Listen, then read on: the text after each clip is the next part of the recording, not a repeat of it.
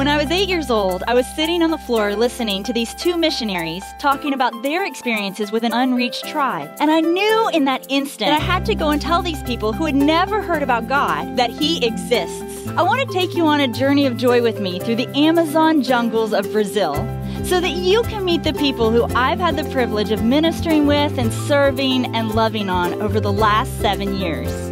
There's a lot of dangers in the Amazon huge snakes, spiders, hairy creatures. You never know what you're going to see.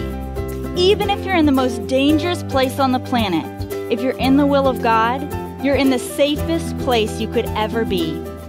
The journey of joy doesn't have to stop here. The joy set before me is to reach the entire Amazon for Christ.